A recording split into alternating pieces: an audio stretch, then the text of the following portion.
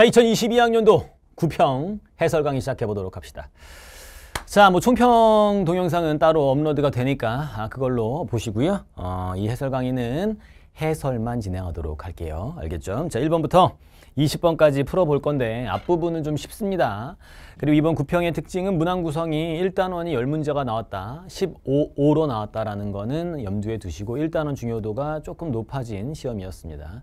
수능도 그럴 수 있는데 에, 사실 뭐 지금까지 그렇게 공부해 왔잖아요. 예, 1단원에 포커스를 많이 맞춰서 비중 있게 공부해 왔으니까 아, 지금까지 한 대로 해 나가시면 되겠습니다. 에너지 준이랑 에너지 띠 중에 둘 중 하나만 나온 거야. 원래 하나씩 나오고 뭐 전도성 같은 게 나왔는데 이번에는 그게 빠지고요. 여러 가지 운동에 관련된 기본 문제 하나가 추가되면서 뉴턴 역학이 조금 더 강화된 모습을 보이고 있는 게 구평입니다.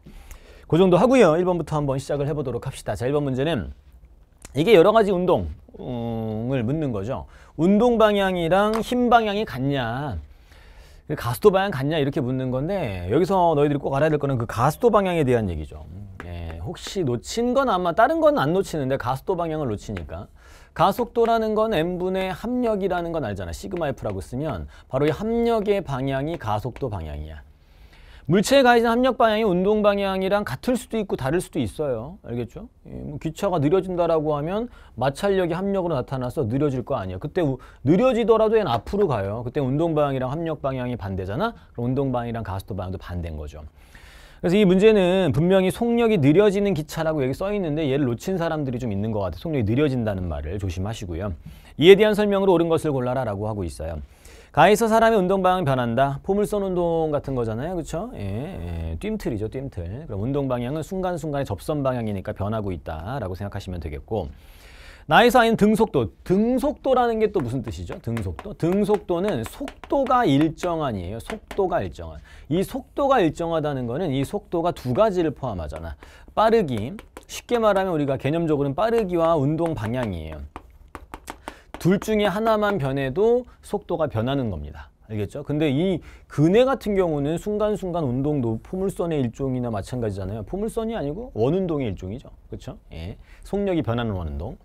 그래서 순간순간 접선 방향이 달라지고 빨라졌다 느렸다 빨랐다 느렸다 하잖아요. 그렇죠? 등속도 운동은 말도 안 되는 거야.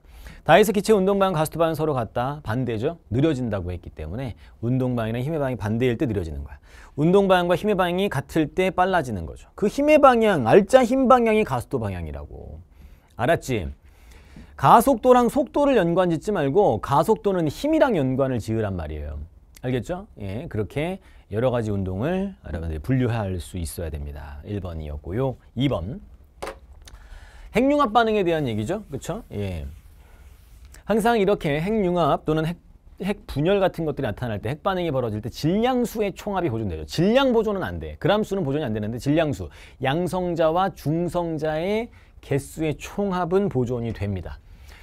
그래서 지금 여기 보니까 이게 1이잖아요. 여기 3, 4, 5니까 여기는 4가 들어갈 것이고 1 더하기 1은 2인데 이게 0이니까 여기 2가 들어가는 거죠. 이렇게. 요게 질량수죠. 요게 질량수. 요게 양성자 수입니다. 그 둘의 차이가 중성자 수죠. 중성자 수는 두 개다라는 것을 알 수가 있어.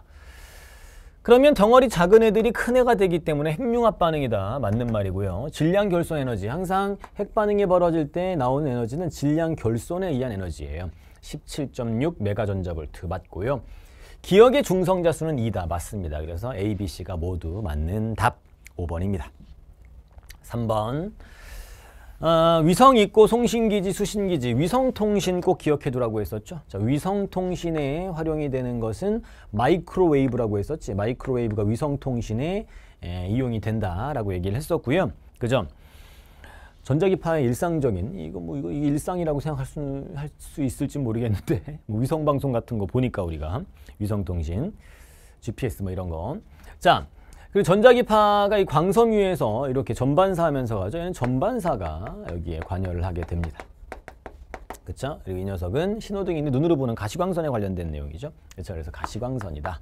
이렇게 묻는 문제예요. 그래서 기억 가이 자외선을 이용한다. 위성통신에 자외선을 이용하진 않아요. 기억은 틀렸고요. 나이 전반사 맞고 다행에서 가시광선 맞습니다. 답은 니엔디귿 4번이 정답이 되겠습니다.